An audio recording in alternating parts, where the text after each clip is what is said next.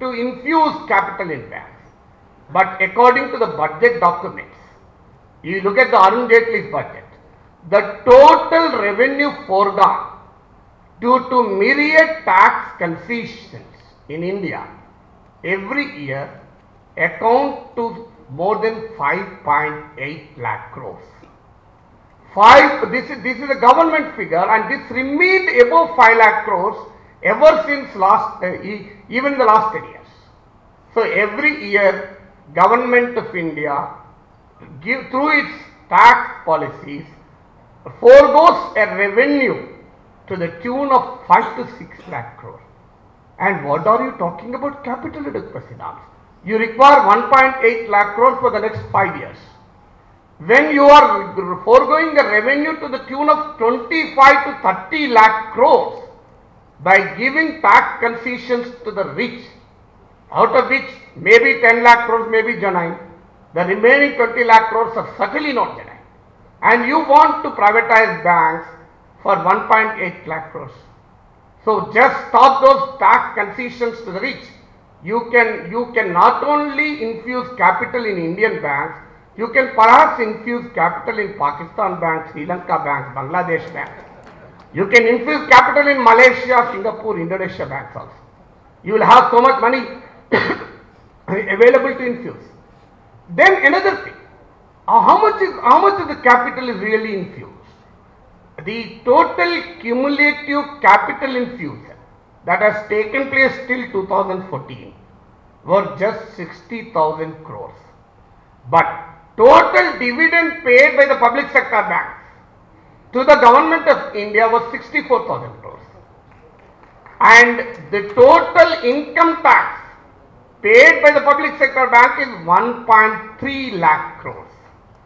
So the total uh, money that has gone from the public sector banks in the form of dividend and income tax to the government of India's exchequer is 300% of the capital infused. Then why are you talking about capital adequacy norms to privatize the public sector banks?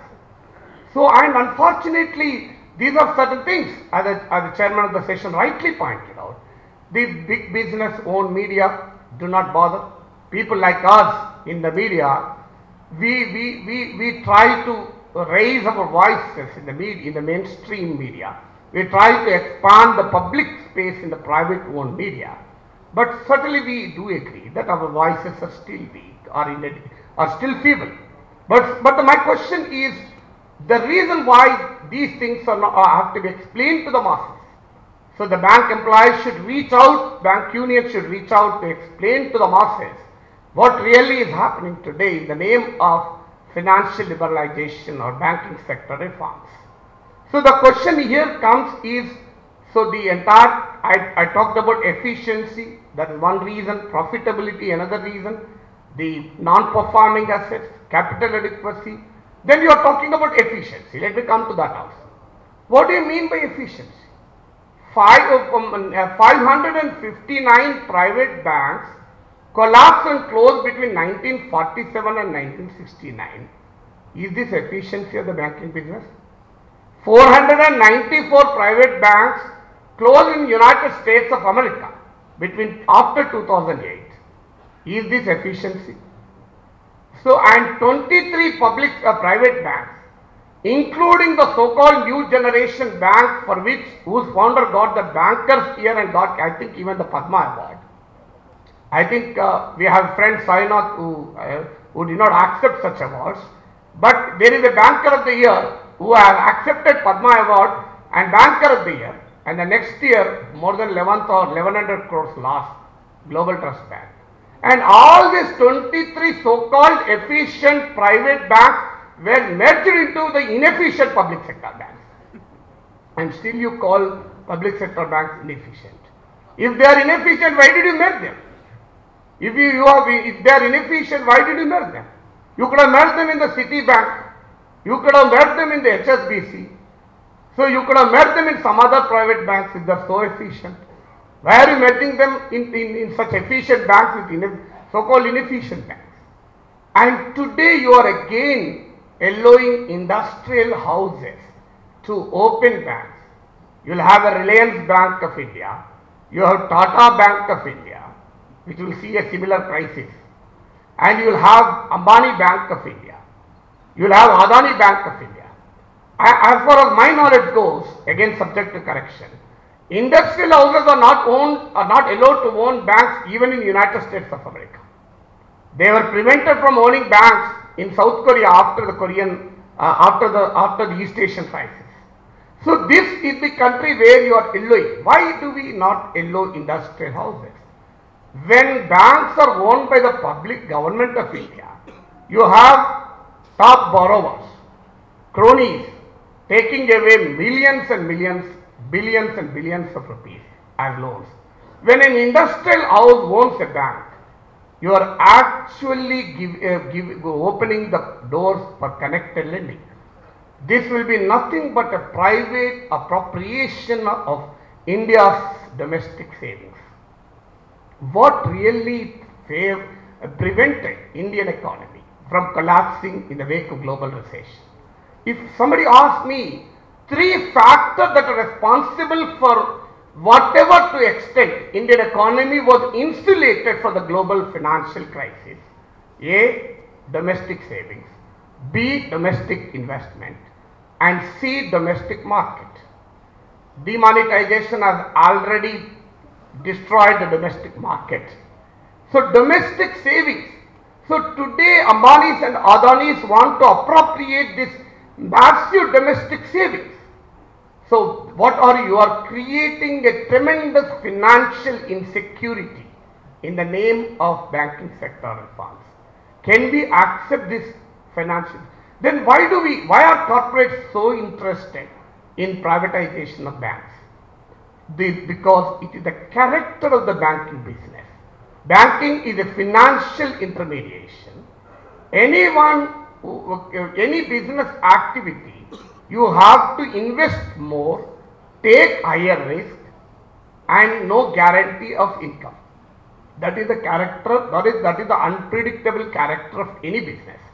But the banking is perhaps the only business where you can invest very little capital with a very lower risk and yet get access to the massive public savings. And this is the lucrative character of the banking business. It is very easy to do business on some other's money. And the problem with these big, big, big borrowers is, there is a saying in economics, if you take 1 lakh rupees, it is your headache. If I take 1 lakh from Nagarajan, whenever he calls me for a meeting, I will simply say, I will not come, I can't come because he may ask me repayment of 1 lakh. But if I take 1 crore loan from him, I will perhaps call him, when are you calling me for a meeting? Because I don't need to pay. So this is the this is a character. So you are trying to create a tremendous financial insecurity to the Indian people in the name of the banking sector reforms.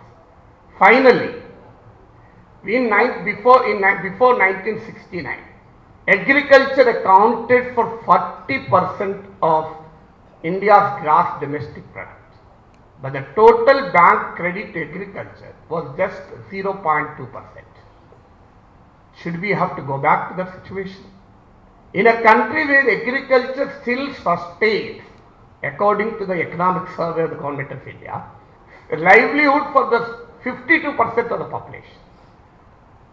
Sainath has already pointed about know your country.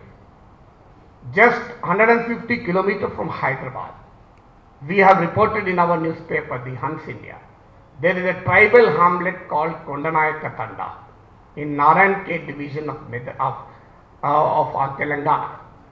A tribal hamlet where the water scarcity is so serious that people sit on a cot, take a bath sitting on a cot. They collect the runaway water in a bucket kept below the, underneath the cot and use that water to wash clothes. And this is a country, this is just 150 kilometers. We published on the front page of a paper, Chief Minister of Telangana K. Chandrasekhar Rao, in a public meeting held in Narayankhed said, I am ashamed to see this happening. Thanks that, uh, thank you very much sir that at least you are ashamed. You are at least ashamed. That extent is we are thankful. And I will tell you another example. Today we have, pub- yesterday we have published a story.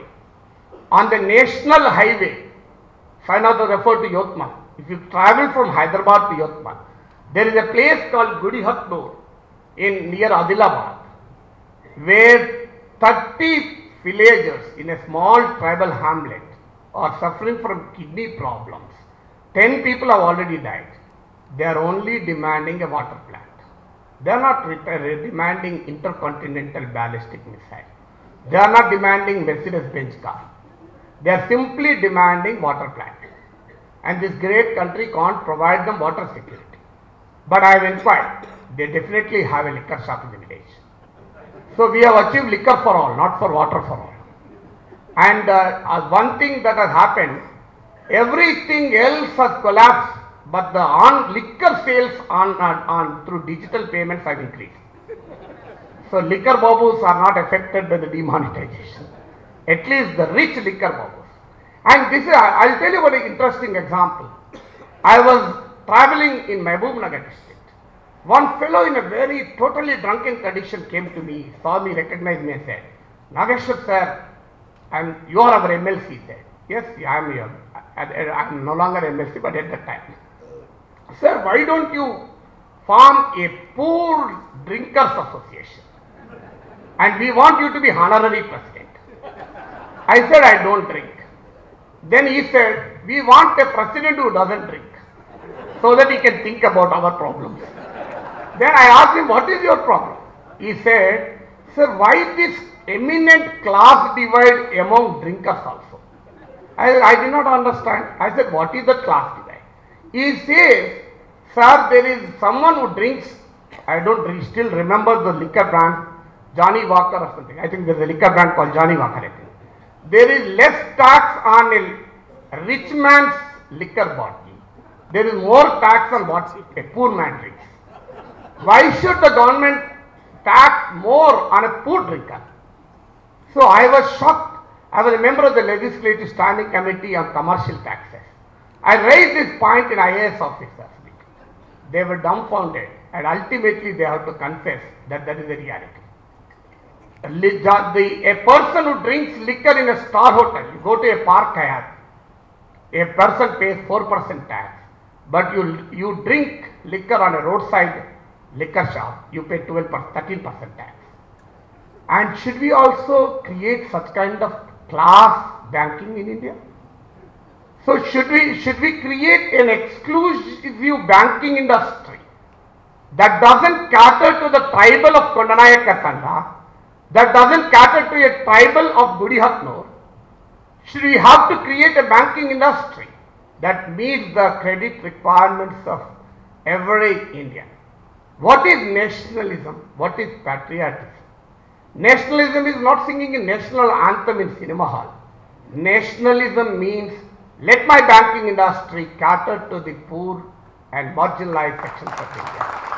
For me, nationalism, nationalism is not a slogan. For me, nationalism is a commitment to my average Indian. So I want the banking industry to be available, accessible, to be accessible to the millions and millions of Indians. So that is what banking sector reforms wants to do away with. So the struggle against banking sector reforms is a patriotic nationalist struggle to protect the interests of India, Indian economy and Indian people. This country could still survive with whatever weak or limited or, or, or not so vulnerable at least for public sector banking.